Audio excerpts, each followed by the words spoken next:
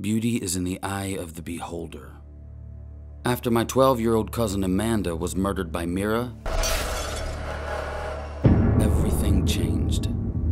Counseling and therapy helped, but when you witness your cousin get the life quite literally sucked out of her, it's hard not to get scarred. After countless sessions with a therapist, I was convinced that Amanda's death, while very real and traumatic, happened at the hands of a home intruder, not Mira. She didn't exist, and I truly believed that. On my 14th birthday, my parents got me a wooden dressing table and a mirror for my room so I could get ready for school. They said it was time to grow up and move on, and I wanted that too. But that night, I saw Mira. Her pale, dead eyes were fixed above the wide gashes strewn across her ghastly face. She was standing in my new mirror, holding the severed head of my 12 year old cousin, Amanda. She stared at me for a few moments and then vanished. In the morning, I just wrote it off as a dream. I mean, I had plenty of those. I felt more comfortable when my dog Jess was sleeping with me. I got her about a year after Amanda died, when I started sleeping in my own room again. She was a sweet black retriever that never left my side.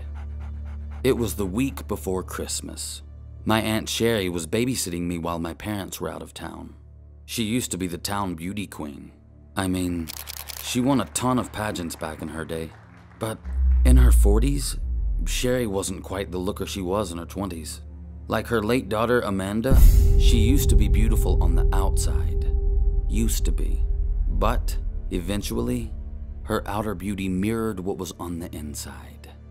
As I tucked myself under the covers, Jess circled a small patch of blanket before finally laying down at the foot of my bed. I turned out the light and lay there in the darkness, wide awake. I couldn't sleep because it was too early and my Aunt Sherry was watching soaps at full volume.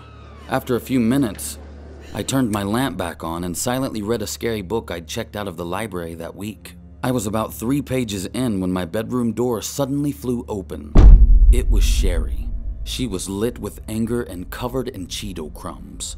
Her fingertips were bright orange. She was still licking them as she screamed. I thought I said lights out at 8. And what the hell are you reading? She continued, snatching the book from my hands. Horror? You're reading horror? After everything that has happened in this house? To my daughter? To my Amanda? After all the lies you told? How could you even think about reading this filth? Devil mark or not, it makes me sick to look at you. And get that mutt off the bed! She belongs outside. Now! My dog obediently stood up and did as she was told. Jess stopped just outside my bedroom door and looked back at me with those sad puppy dog eyes. Sherry was just about to leave the room when she caught a glimpse of her reflection in the mirror.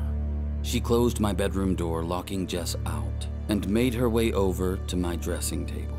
I thought you were scared of mirrors, she said. My, my, my. Haven't I aged gracefully? Like fine wine? She finished. She then settled onto the bench in front of the mirror. Her large frame spilled over it. The wooden bench creaked and groaned as she situated her weight on top of it. Is this where the mirror girl lives?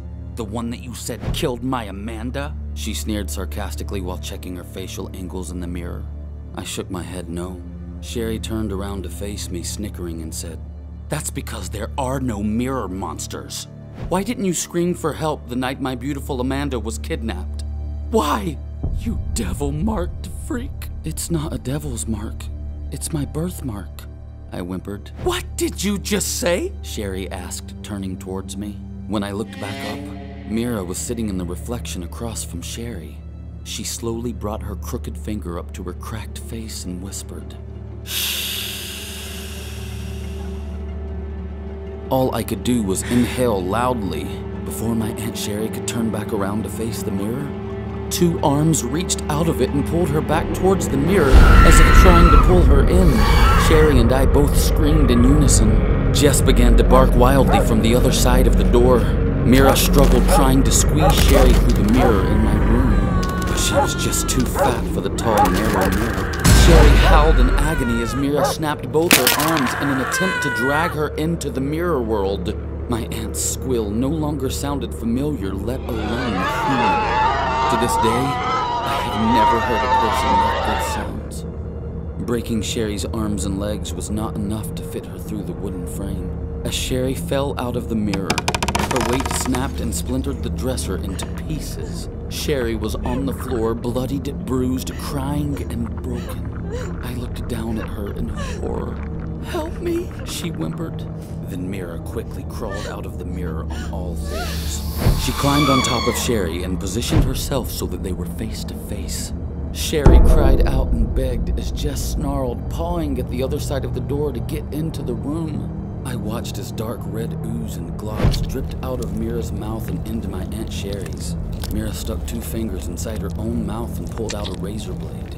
She began to slowly score deep gashes all over Sherry's head. I couldn't breathe. There wasn't really much of Aunt Sherry's face left after 30 seconds, but she continued to scream. My Aunt Sherry coughed up a fountain of blood before she gasped her final breath. I was still frozen to my bed, too terrified to move. Suddenly, Mira sank her teeth into Sherry's neck and began to drag her back towards the mirror to take her into the other side. I finally screamed for Jess.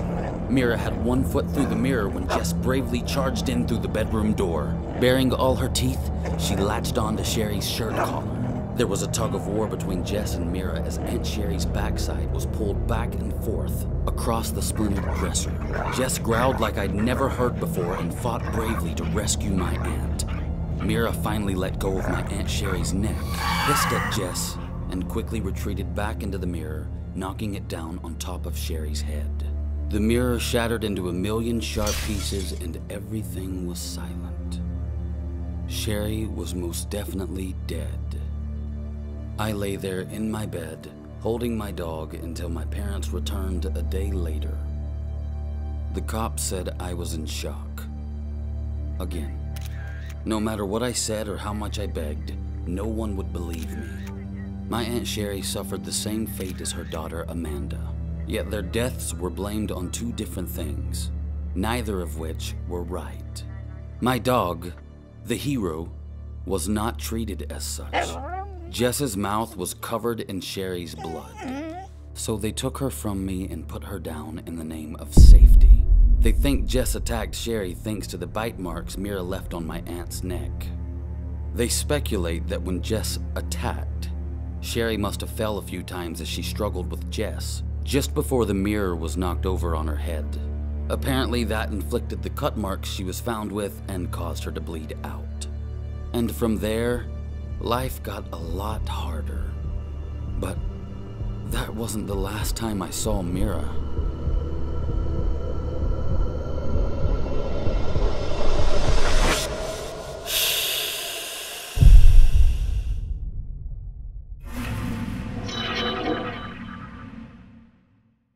Watch new vids every Monday, Wednesday, and Friday, only on Crypt TV.